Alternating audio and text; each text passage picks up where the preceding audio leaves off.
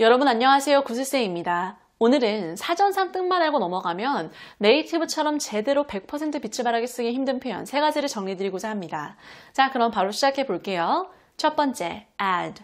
여러분, 더하다의 add. 이거는 우리에게 너무나 익숙한 단어잖아요. 자, 근데 평소 회사에서 뭐 brainstorm을 할 때 그때 add를 쓰시나요? 자, add. 이거를 우리가 단순히 더하다 라고만 생각하고 넘어가면 아, 회사에서 뭔가 계산할 때 외에는 은근 쓰기 힘든 것 같아요. 저는 여러분이 오늘 add 이거를 보고 단순히 더하다 여기에서 한 단계 더 나아가서 어떠한 내용이나 말을 덧붙이다 이 덧붙이다의 add까지 접붙여줬으면 좋겠어요. Do you have anything to add? 뭐 더 하고 싶은 말, 뭐 덧붙이고 싶은 부분 있어? 추가하고 싶은 내용 있어? Do you have anything to add? Rich, do you have anything to add? 어, 여러분, 어, 뭐 더 하고 싶은 말 있어? 추가하고 싶은 부분 있어? Do you have anything to add? 이거 되게 많이 쓸 수 있어요. 약간 음, 회의를 하고 있는데 누군가가 약간 좀 우물쭈물하고 있어요. 뭔가 하고 싶은 말이 있는 것처럼 보여요. Well, do you have anything to add? 그러니까 기존에 있는 내용에다가 추가하고 싶은 내용이나 부분이 있냐? Do you have anything to add?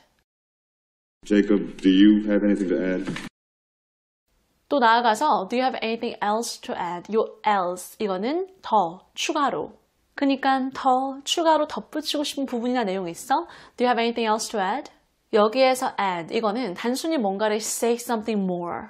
말로 추가하고 덧붙이는 것 외에도요, 어, 기존에 남아있는 그 문서나 내용에다가 내가 덧붙이고 싶은 아이디어, 뭔가 추가하고 싶은 내용이나 부분이 있는지 그때 물어볼 때 쓸 수 있는 거죠. Do you have anything else to add? 근데 여러분, do you have anything else to add? 여기에서는요, 당연히 덧붙이다의 add, 이것도 중요하지만 또 다른 추가로 이 else도 중요하죠. 어, 저는 여러분이 else 같은 경우는 그냥 보자마자 바로 뜻을 생각해 줬으면 좋겠어요. 이 else 같은 게 아, 분명 아는데 막상 누군가가 딱 물어보면 마치 at all, 조금이라도의 이 at all 이것처럼 아, 분명 아는 것 같은데 누군가가 뜻을 물어보면 바로 떠오르지 않는 그런 표현 중에 하나인 것 같아요. At all, 조금이라도. If you need anything at all, please let me know. 조금이라도 뭐라도 필요한 게 있으시다면 저한테 말씀해 주세요. If you need anything at all, please let me know. If you need anything at all, call me. Anything at all. 아무튼 at all, 조금이라도의 at all 이것도 중요하지만 else 또 다른 else 이거는 제가 here and there 정말로 강조했는데 이거 쉽게 정붙이는 법. Is there anything I can do? 제가 해드릴 수 있는 게 뭐라도 있을까요? Is there anything I can do? 우리 어차피 이 문장 외우기로 했잖아요. Can I help you? 이거는 약간 좀 사무적인, 좀 딱딱한 말투가 될 수 있기 때문에 특히 지인에게 도움을 줄 때는 내가 진짜로 뭐든지 해주고 싶다. 약간 이러한 뉘앙스를 띄우는 Is there anything I can do? Is there anything I can do for you? For you? 너를 위해서 내가 해줄 수 있는 게 뭐라도 있을까? 제가 해드릴 수 있는 게 뭐라도 있을까요? 요거 외우기로 했었잖아요. 근데 누군가에게 도움을 주고 나서 또 제가 더 추가로 해드릴 수 있는 게 뭐라도 있을까요? 그러니까 상사가 나한테 일을 시켰을 때 그 요청한 자료를 갖다 주면서 Is there anything else I can do? Is there anything else I can do for you? Is there anything else I can do for you? 더 추가로 해드릴 수 있는 게 뭐라도 있을까요? 우리 레스토랑 같은 데서 뭐 주문하면, 그러니까 패스트푸드 레스토랑에서 뭔가를 시키면 anything else? 더 필요한 거 있으세요? Anything else? 이렇게 물어보잖아요. 그래서 is there anything else I can do for you?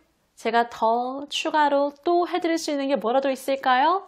누군가가 요청한 자료나 내용을 주면서 그 예의상 하는 말이죠.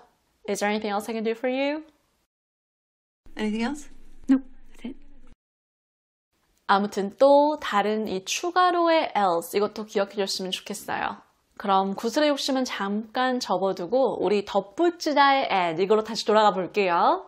Do you have anything to add? Do you have anything else to add? 뭐 더 추가로 덧붙이고 싶은 내용이나 부분 있어? 근데 저는 이 덧붙이다의 add가 진짜 예쁘게 쓰인 문장은 누군가가 나한테 뭐 추가로 하고 싶은 말이나 덧붙이고 싶은 부분이 있냐고 물어봤을 때 아니 이미 상대가 너무나 완벽하게 답변을 해서 이미 완벽하게 준비를 해서 어, 내가 딱히 덧붙이고 싶은 부분이 없다 이렇게 얘기할 때 Well, I think that was a great answer. I don't have anything to add to that. 이때인 것 같아요. 아, 이미 너무 좋은 답변이라서 제가 딱히 이렇게 덧붙일 건 없네요. I think that was a great answer. I don't have anything to add to that one. 그러니까 추가하고 싶은 내용이 없을 정도로 기존에 있는 답변이 너무 완벽하다는 거죠. 그러니까 너무 잘 답변해서 제가 딱히 덧붙이거나 추가하고 싶은 내용은 없어요. Well, I think that was a great answer. I don't have anything to add to that. I just want to add one thing to that great answer.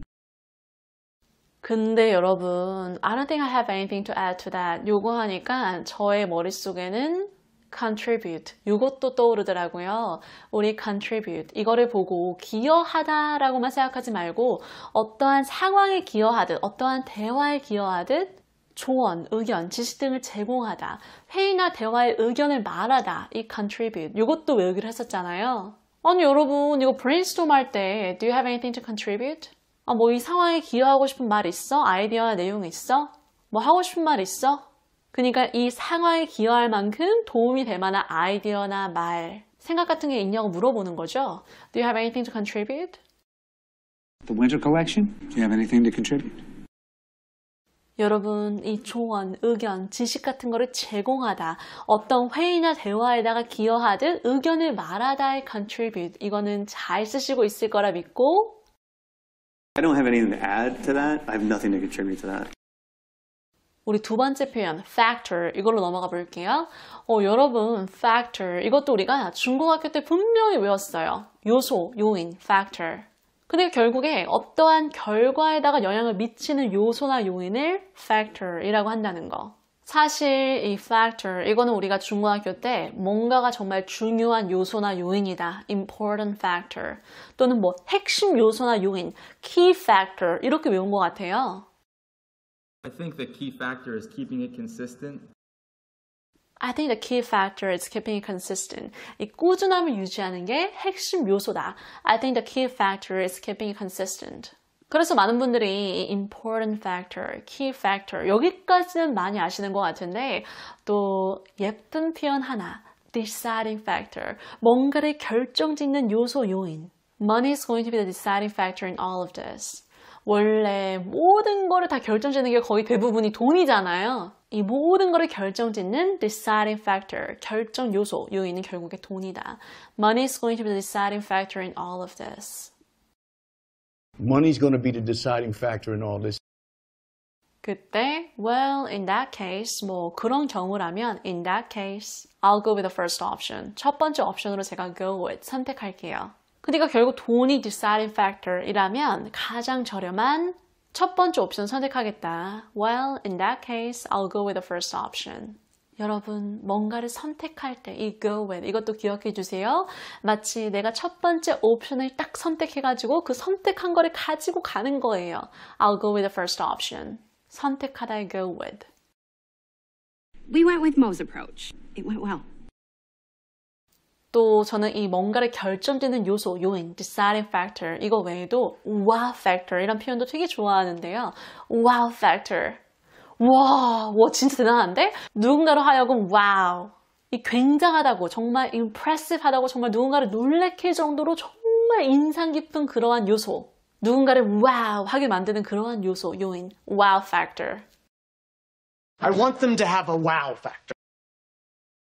So what do you think? 어, 이거 어떻게 생각해? 괜찮은 것 같아? So what do you think? 라고 물어봤을 때 아, 내가 보기에는 뭔가 특별한 게 없는 거예요. Um, it's good, but I feel like it's missing a wow factor. 어, 괜찮긴 한데, 좋긴 한데, 근데 그 뭔가 특별한 게 조금 부족한 것 같아. 특별한 그러한 wow factor. 사람들을 정말 wow 하게 하는, 야, 이거 진짜 특별하다. 굉장하다. 아, 정말 훌륭하다. 이렇게 만드는 그런 wow factor가 좀 빠진 것 같다. I feel like it's missing a wow factor. 여러분, 상대가 열심히 work on 한 거를 보고 나서, 어, 약간 좀 별로 특별한 게 없다고 it sucks 이렇게 얘기할 수 없잖아요. It's good, but I feel like it's missing a wow factor. 어, 괜찮긴 한데 정말 와, 이 정도는 좀 아닌 것 같다. 이런 부분이 좀 부족한 것 같아. It's missing a wow factor. 이렇게도 얘기할 수 있다는 거. 음, 이거 되게 예쁘잖아요. Wow factor. 이것도 기억해 주세요. I'm just wondering if we could up the wow factor.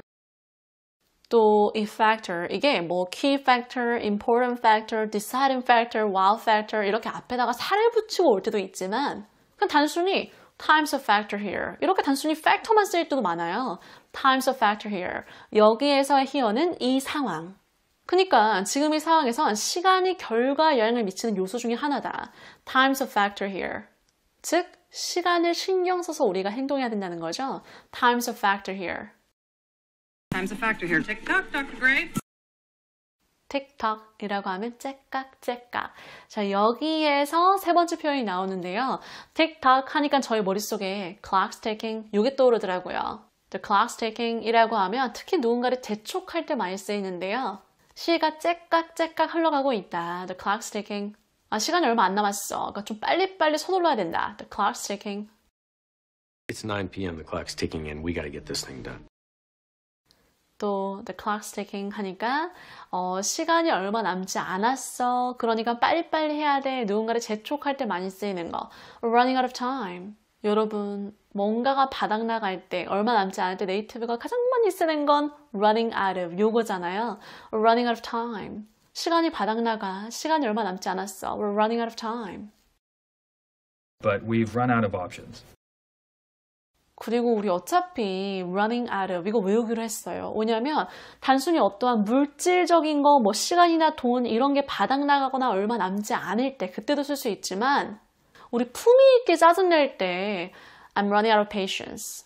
아, 나 인내심이 바닥 나가. 즉 그만해라. 참는 것도 한계야. I'm running out of patience. 인내심이 바닥 나간다. I'm running out of patience. I'm running out of patience. 어, 여러분, 오늘 영상에 구슬의 욕심이 here and there 꽉꽉 찬 것 같은데, 어, 근데 생각해보면, 어차피 do you have anything to add? 이거 회의에서 진짜 많이 쓸 수 있고요. factor. 어, 뭔가가 진짜 중요한 요소, 요인이다. key factor, deciding factor. 어, 이것도 외워주셔야 되고. Just to reiterate, time's a bit of a factor here. The clock's ticking.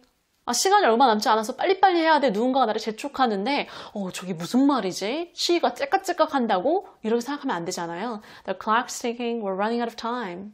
이 세 가지 다 어떻게 보면 기본 회화 표현이니까 꼭 확실히 기억해 주셨으면 좋겠어요. 아무튼 오늘도 구독과 좋아요, 기분 좋은 댓글 많이 부탁드릴게요. Bye guys!